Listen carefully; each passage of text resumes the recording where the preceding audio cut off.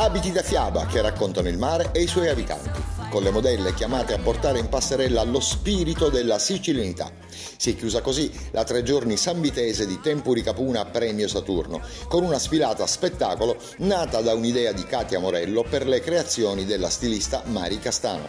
Una chiusura suggestiva ed originale per una manifestazione doppia che ha messo insieme le eccellenze gastronomiche e quelle produttive del nostro territorio. Cooking show degli chef sanvitesi a base di pesce azzurro e le immancabili e frequentatissime degustazioni sono state il leitmotiv di questo fine settimana. Tra gli altri, le sorelle Brignani e Peppe Giuffre hanno dato spettacolo giocando e viziando il gusto dei presenti. In scaletta anche diversi talk show, tutti improntati ovviamente al mare.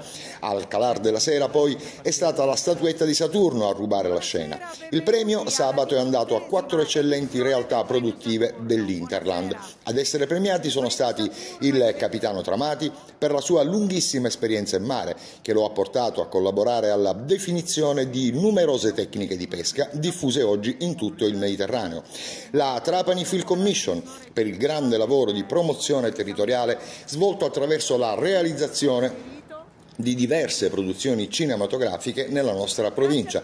E ancora l'Agripesca Sicilia per il lavoro di tutela dell'agricoltura della pesca in tutta Italia ed in Sicilia in particolare. Ed in ultimo ma non ultimo Mommo Battaglia, un'icona a San Vito Lo Capo, un pescatore che con i suoi 89 anni è depositario delle arti piscatorie e delle storie che le raccontano, un'esperienza che Mommo ha maturato cominciando ad andare per mare a soli 12 anni. Insomma, Tempuri Capuna e Premio Saturno hanno colorato questi tre giorni di fine stagione a San Vito, deliziando i tanti turisti ancora presenti e non solo, e dandoci appuntamento al prossimo anno.